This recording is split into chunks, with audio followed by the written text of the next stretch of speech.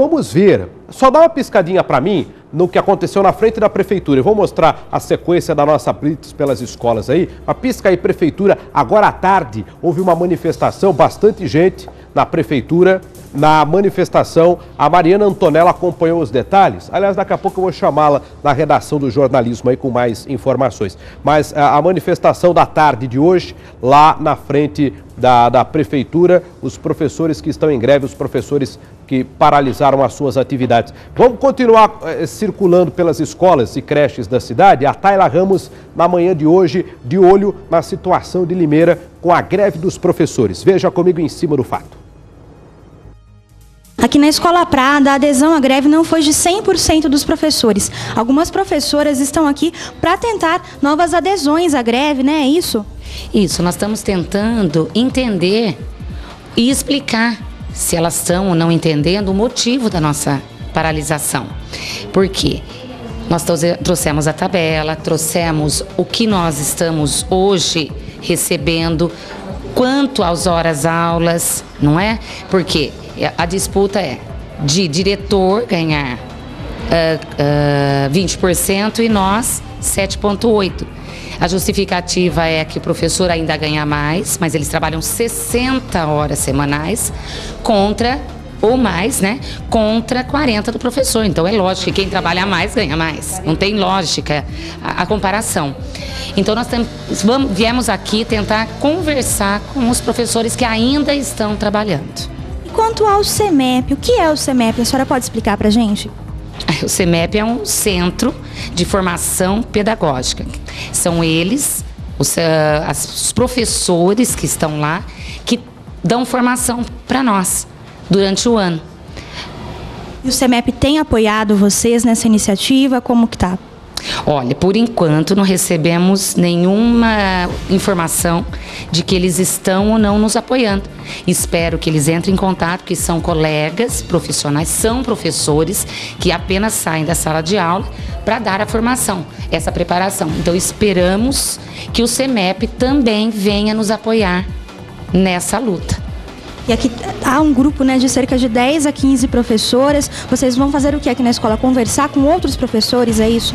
Sim, nós vemos aqui conscientizar esses professores que é direito constitucional, garantido em lei, que eles têm o direito de paralisar sem ser punidos, né? mesmo os professores efetivos, professores contratados, os professores que exercem agora a, a aula de artes, educação artística, os professores que estão em período probatório também, todos esses professores têm o mesmo direito de estar paralisando. Então, nós viemos aqui hoje para conscientizar esses professores que ainda estão em sala de aula.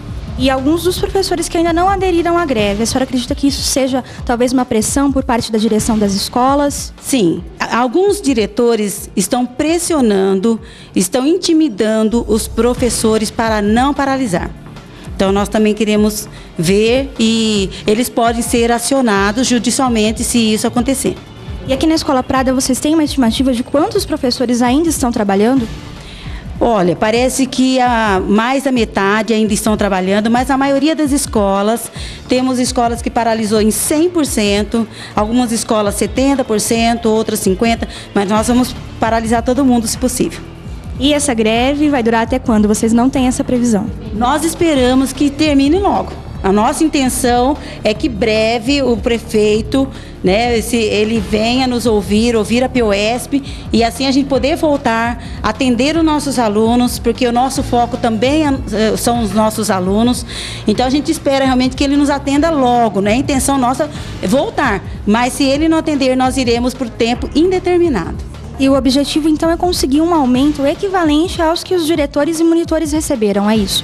É isso mesmo. No, principalmente que a parte dessa diferença é que nós ficamos sem entender. Nós sentimos assim, como eu usei a primeira vez, ofendidos com o acordo. Esse acordo tem que deixar bem claro que não foi convocado a todos, então foi um acordo parcial com algumas categorias apenas, ou uma, não sabemos, que diz que foi coletivo e não foi. E vocês vão percorrer outras escolas, além da escola parada, que não aderiram 100% então à greve, é isso? Isso, nós vamos até a zona rural. Que sabemos que a zona rural, Martinho Lutero, elas não, a diretora não quis que a professora, os professores parassem. Nós vamos verificar agora se está havendo aula ou não no Martinho Lutero. Ok, muito obrigada. E as professoras estão entrando agora dentro da Escola Prada para conversar com os professores que ainda estão trabalhando aqui no local. Nós vamos acompanhar essa abordagem aqui também em outras escolas que ainda não aderiram à greve dos professores municipais.